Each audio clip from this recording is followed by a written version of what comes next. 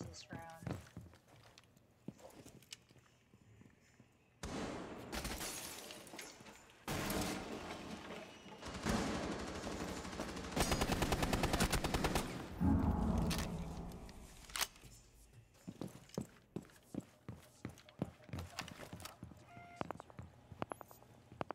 Okay, so Pulse, I have the diffuser down there by me, so we're good. That's you. I just. I know this is probably a question you've heard a lot. Are you a girl? I'm a 19 year old female. What? So yes, I am a girl. So I mean, like, it's fucking stupid that I deal with incels on a day-to-day basis. Look, look, look, look. Just to clarify, I'm not trying to sit here and like identify you or whatever. I'm just curious because this entire fucking shit started. Over.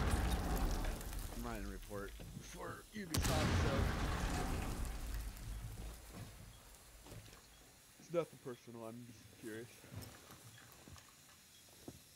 Well, yeah, I, I totally get it. Fucking It wasn't anything against you. I was just teaching him that we don't need him. Toxic.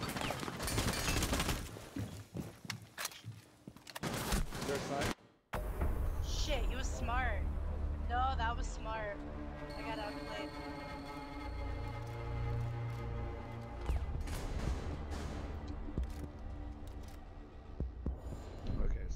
One more round. Yeah, just one more painful round. I mean, it's not like I'm trying to rank up or anything like that. Oh my god, Dark Magician. Sweaty little bitch. Yeah, I'm in the process of changing it. Because you either get called a fat E girl, or an E girl, or just a girl. And I'd rather think that I'm a 13 year old male at this point. so I won't deal with the shit I do. Yeah, Thank you. you're welcome. no simping. Look, bruh, a fucking simp is. Even though he killed you, I still like him. Bruh, bruh, bruh, bruh, bruh, bruh. How the. The only one I hate is Happy Wheels, and I have valid reasons. He has some fucking god complex because he can't wrap around his mind that he fucking sucks at the game. And that a different gender can beat him at a game and be better than him. I So, think that's just being there's that.